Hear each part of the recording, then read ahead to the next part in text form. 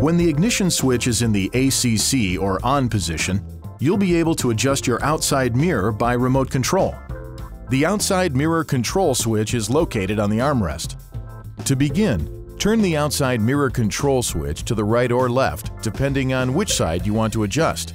Then, move the switch left, right, up, or down to move each mirror to the desired position. Once the mirrors are in place, return the switch to the neutral position to avoid accidentally changing the mirror positions. If your vehicle is equipped with the reverse tilt-down feature, the selected outside mirror surface will turn downward to provide better rear visibility close to the vehicle.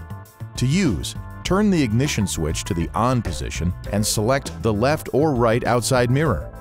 Move the shift selector to R or reverse, and the selected mirror will turn downward. Only one mirror is active at a time. The selected mirror surface will return to its original position when any of the following have occurred. The shift selector is moved to any position other than R or reverse. The outside mirror control switch is set to the neutral or center position. Or the ignition switch is placed in the off position. The outside mirrors along with the rear window glass can be heated to defrost, defog, or de-ice for improved visibility.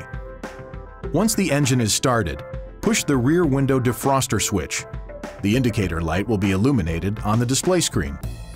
The rear window defroster automatically turns off after about 15 minutes.